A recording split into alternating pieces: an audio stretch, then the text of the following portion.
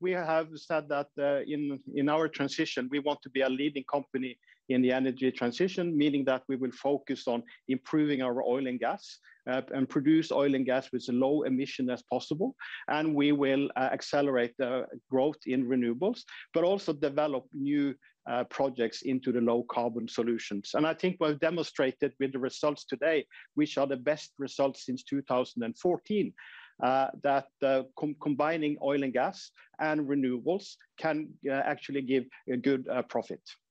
And yet, I know that the rejigging of portfolios is always a very important, bringing partners in is very important, but the sale of, um, what is it? The some divestments in your wind farms off the coast of Britain, the U.S. I suppose some people will look at that and scratch their heads and say, "Well, why do you sell stakes in those wind farms as well? Why don't you just grow them and take on a more dominant position in some of these assets? Well, this is uh, uh, a part of our operating model. Uh, what we have been very successful successful with over several years, and we've been in the offshore wind business for 15 years, is that we have been able to come in very early, capture new land, been able to develop this project, Uh, and then also then sell down uh, to partners as a part of uh, this project development. This can ensure higher return on equity, and it's a part of the model to ensure that we're getting the right return from our renewable projects. Anders, um, I guess the key issue for the numbers really is what direction oil and gas prices are likely to run through over the rest of the year. There does seem to have been some modest recovery in European gas prices, but could you just update us on your expectations? Yes, I can do that. And uh, as you see, we have seen a recovery of the oil and gas prices uh, during the quarter, and uh, we've been able to capture those prices by high regularity in our operating facility.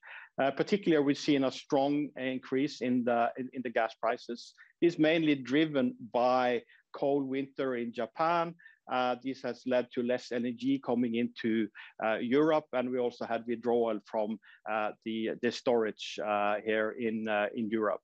So, so this has kind of given much higher prices Uh, than we have seen over the past year uh, uh, on on, on the gas. We will expect that the normal seasonal variation will also come this year, but we expect a higher gas price than we have seen, for instance, last year for the gas. For the oil price, um, we see that the OPEC+ is working well uh, with their uh, holding back, uh, but there will be more supply coming to the market soon. And the big uncertainty is how fast will the economy recover? How fast will the demand come back? How fast will people start flying again? Uh, so, uh, so there are some volatility, and we expect some volatility going forward, both on the gas and the oil prices. And that's why we would like to maintain a very strong balance sheet, so we are able to cope with those uh, volatility going forward.